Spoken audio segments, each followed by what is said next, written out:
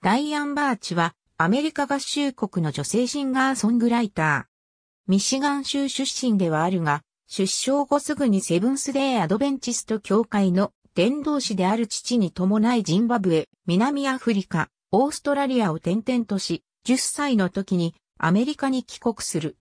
オレゴン州ポートランドに移り住んだが、キリスト教の禁欲的な環境に育った彼女は、一般的なティーンエイジャーからは浮いた存在であった。幸い7歳の時からピアノの訓練をしており、得意な音楽の才能に恵まれていたため、初めて出会うジャズ、ポップス、ソウルなど様々なジャンルの音楽を吸収していった。独立すると映画音楽の作曲家になるためロサンゼルスへ移り住み、そこでピアニストのアルバイトをしていた。それまで彼女はあくまでピアニストとして活動を行っていたが、友人の勧めで歌を披露するようになり、作詞、作曲をするようになった。